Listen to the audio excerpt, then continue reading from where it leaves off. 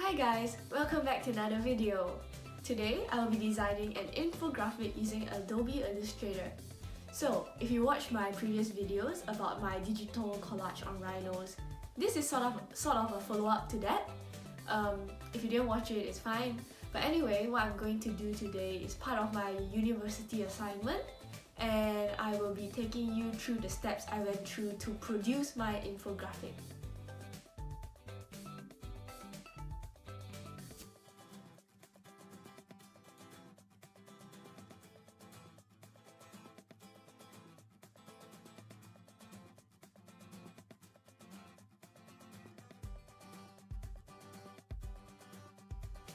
So this is my university notebook. Yep, I took some notes about different types of infographics. Apparently there are statistical infographics, informational, timeline, blah blah blah, but that's not our focus.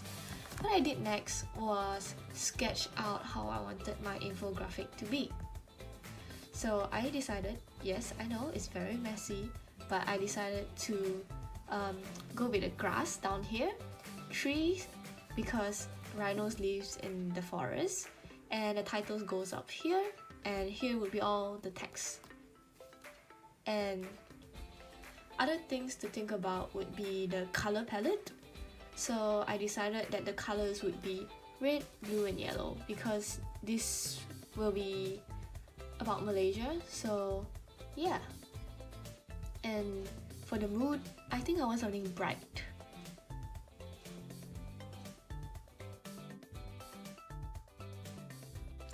Right, so I started off with a yellow background and I added some grass, trees and a rhino into it to create the background. I changed the colors to blue because that suited my Malaysian theme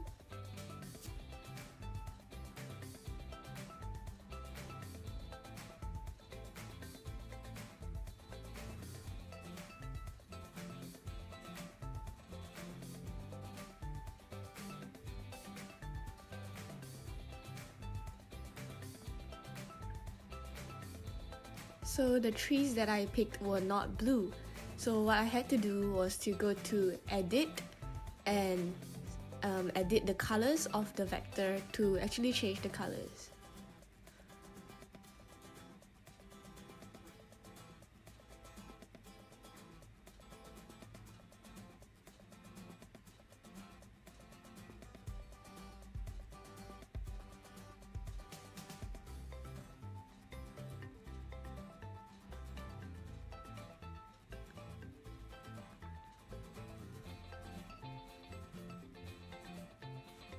I tried making the trees red, but I don't think it works out, so I'm just gonna stick with blue.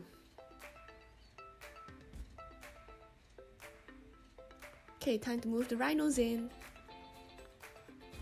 And another rhino. And another rhino.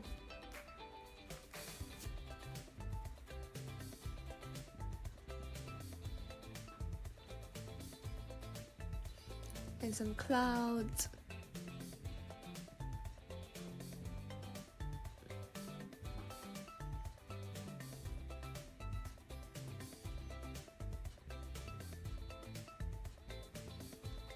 So I'm gonna make the rhino red.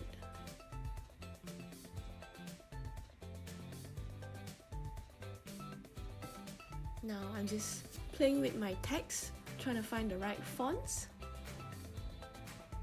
What I usually do is I put my fonts at the side so I can use the eyedropper tool to pick up the font size, font color and the font type when uh, easily.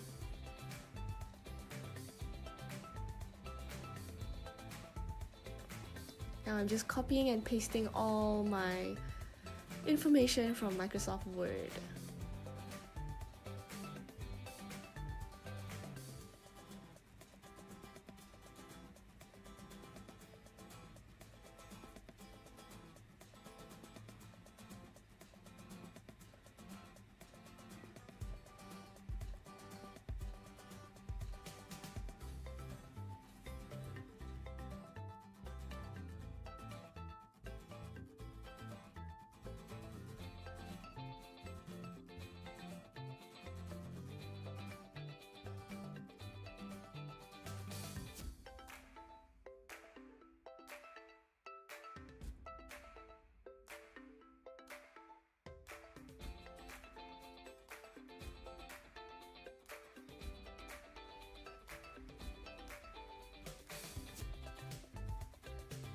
Okay, I'm just gonna speed things up and give you screenshots of my progress.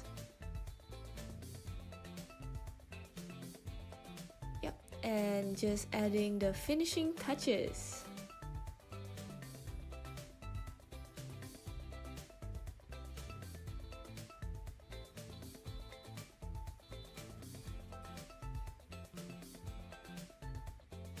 And we're done!